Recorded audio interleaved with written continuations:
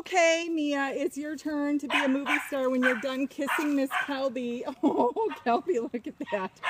So this is little Mia, and um, Mia is about 12 to 16 weeks old, and she weighs in the 12 to 15 pound range. Her mama is about 35 pounds and has really long um, brown fur. So we expect this one to be a little scruffy at some point. Um, so uh, something really unusual about this one's fur, she almost has like little blonde highlights throughout her fur.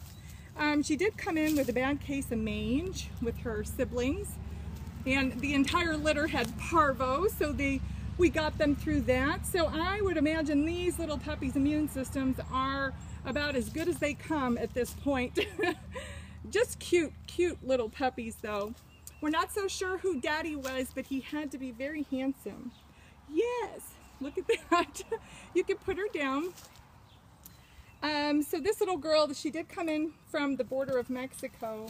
And oh look, you can see her, the highlights in her fur a little bit better. She wants Kelby to pick her up. They are so starved for attention. She stays in a pen with her siblings. And there's just not enough of us to go around in terms of holding them and loving on them as much as they would like.